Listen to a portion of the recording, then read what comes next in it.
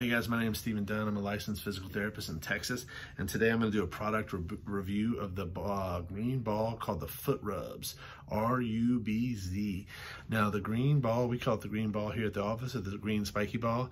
It is very dense, and it has these little spikes that come out on every direction, and this is a great tool to use on your foot, the plantar fascia area. It's also a great tool to use on your hands by putting your hands down on the table with the, this being the table and roll in your hand all through there if you use your hands a lot for typing or whatnot.